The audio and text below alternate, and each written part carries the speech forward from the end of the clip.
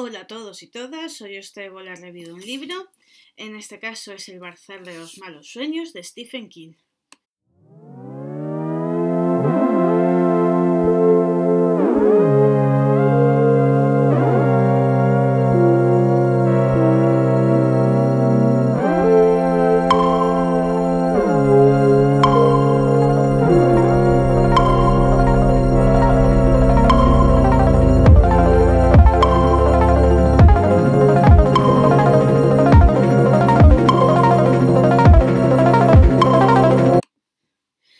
Esta es una edición de Plaza y Janés que lo he cogido de la biblioteca. Esta padura tiene unas 600 páginas, si no me equivoco.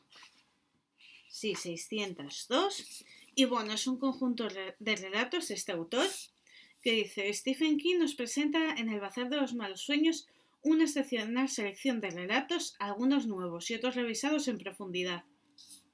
Cada uno viene precedido de su propia introducción, donde se habla sobre sus orígenes y sobre los motivos que llevaron al autor a escribirlo, incluyendo aspectos autobiográficos.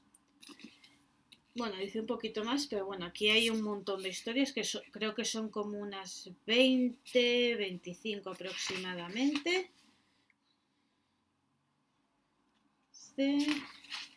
12, 13, 14, 22 exactamente, unas más largas que otras, las hay desde las que van de 15 páginas a las que van 50, es una cosa que me ha llamado la atención y que quizás no me ha gustado en exceso.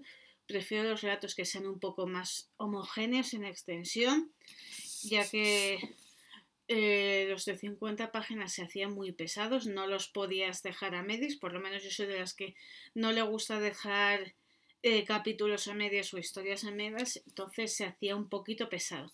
Pero por lo demás, las historias han estado genial, me han encantado, van muy en la línea de Stephen King, así que si os gusta, os lo recomiendo.